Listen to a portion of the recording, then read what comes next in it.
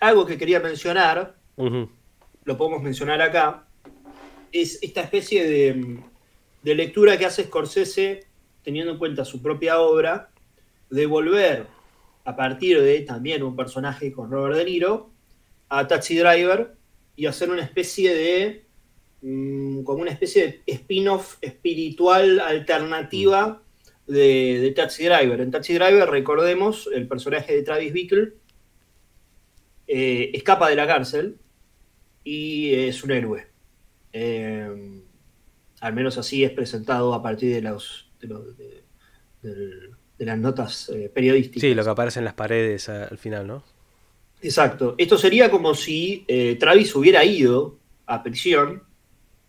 Y obviamente esta es otra película, ¿no? Es una obviedad aclarar eso, pero no, y es en otro tiempo también, eh, pero es como si fuese que lo interpreta para este otro tiempo, diría. Claro, y además de que eh, eh, retoma cierta esencia, ciertas características del personaje de Taxi Driver. ¿Por qué?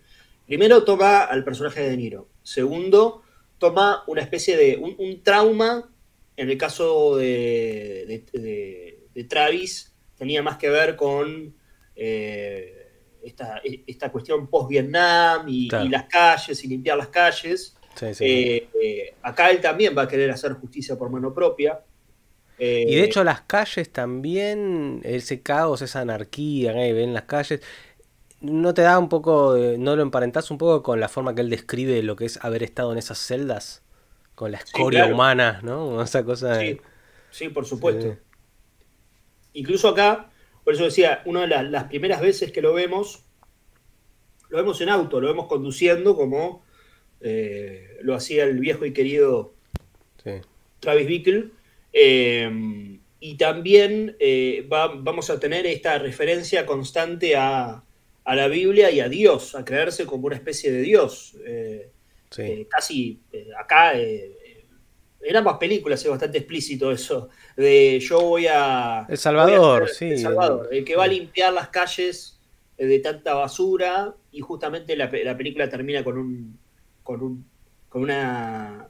Eh, con una cuestión casi apocalíptica, ¿no? Por el, la tormenta y la balsa y demás. Sí, sí, sí. Eh, y en Travis eh, y perdón, en Taxi Driver también está eso de, bueno, vamos a limpiar las calles y voy a tener que tomar el arma y, liberar y hacer una acción, en el caso de, Taxi Driver es una acción que va por fuera de la, de la ley, pero supuestamente eh, para el bien de liberar a, una chica, ¿no?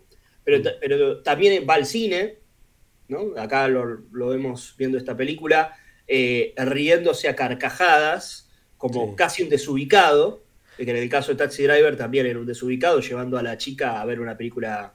Eh, ¿Sabes qué me, qué, me está empezando a pasar con lo que decís? Eh, perdón, te interrumpí, pero no me quería olvidar después que, porque justo escuchándote lo que decís y viendo esta imagen, empiezo a pensar que de alguna manera puede ser una falopeada lo que diga, ¿eh? pero hay una filtración de, de Travis Bickle con Tony Montana eh, considerando que Tony Montana tiene algo más eh, ya ochentoso, ¿no? Y mucho más eh, certeramente ayornado con el mundo ya súper capitalista liberal de los 80. Y con acento. Personaje con acento. Con acento y la camisa floreada ahí, con esa, esa, idea del paraíso como el lugar soleado con palmeras, ¿no? Que se ve mucho en tanto en Scarface como en Carlitos Way, pero particularmente Scarface, digo, en el sentido, vos decís, se está riendo a carcajadas en el cine, y yo digo, y Tony Montana, si fuese este chabón, también estaría, estaría en esa, ¿no? Claro, no, y aparte. El, habano. No nos eh, olvidemos que De Niro y Pacino eran personajes que se veían todo el tiempo, era una, una pelea años de, tres años después. Y Scorsese y de Palma también.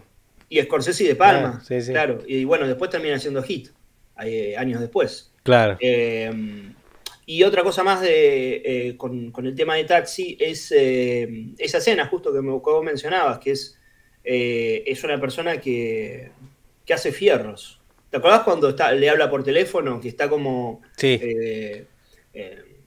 dado vueltas, viste? Sí. Eh, y es parecido a la habitación a la que podría ser la de, Travis Bickle cuando está haciendo gimnasia y todo eso. Exacto, sí, sí. exactamente. Sí, sí, es, es, la idea del, tipo solo, encerrado, muy, muy Schrader, ¿no? Pero... Sí, que, que, armó un plan a partir de estar mucho tiempo solo. Exacto, totalmente. Eh, obviamente este es más un personaje más inteligente, ¿no? Eh, pero bueno, también porque fue justamente fue a la cárcel y tuvo el tiempo para instruirse que Travis, no, o sea, Travis fue a la guerra. Eh, pero bueno, él fue al infierno, si quieres decirlo de alguna manera. acá creo que justo tengo el momento. Bueno, acá esto ya habíamos hablado de que le dice lo de los abogados, que después se repite más adelante, pero cuando viste que hay una cosa medio obscena, porque viste que Nick Nolte le ofrece guita de la nada, y cuando te ofrecen guita, viste que es insultante, sobre todo si uno eh, entiende la, la intensidad eh, mítica que quiere ponerle él a su venganza y de repente viene este y te ofrece guita. Pero dice, ¿y cuál sería la indemnización por haber sido violado por cuatro blancos desgraciados? No me acuerdo en inglés ahí que decía, pero creo que era white trash probablemente.